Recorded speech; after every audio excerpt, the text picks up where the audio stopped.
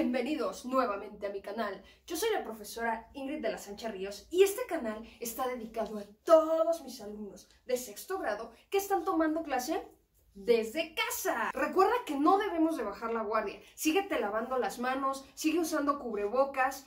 Recuerda que estamos en semáforo rojo y debes de permanecer en tu casa. Todos los niños, los maestros, los papás, todos debemos de quedarnos en nuestra casa para evitar el contagio del COVID. Recuerda, Ubuntu, usar cubrebocas para cuidarte y cuidarnos a todos.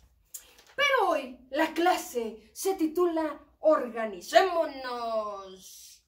Un organizador gráfico es una técnica de aprendizaje para organizar conceptos en esquemas visuales. Esto ya lo habíamos visto en quinto grado, pero te voy a poner aquí algunos ejemplos. Mapa conceptual. Diagramas.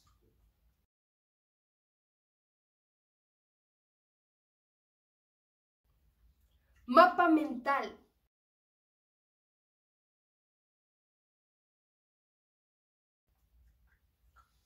Cuadro sinóptico.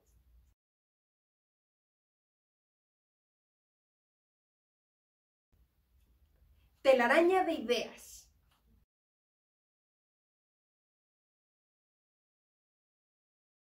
Líneas del tiempo.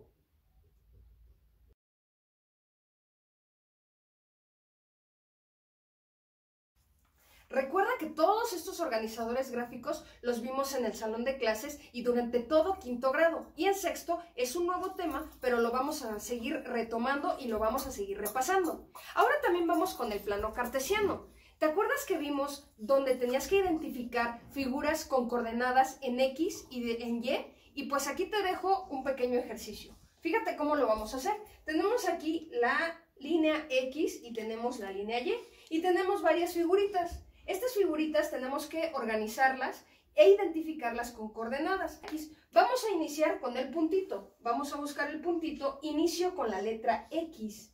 Y en la X es menos 2. Ah, pero antes de eso, recuerda que tenemos cuatro cuadrantes. El cuadrante 1, que son los positivos el cuadrante 2 que tiene positivos y negativos, el cuadrante 3 que tiene puros números negativos y el cuadrante 4 que tiene negativos y positivos. Ok, ahora sí vamos a iniciar con el puntito.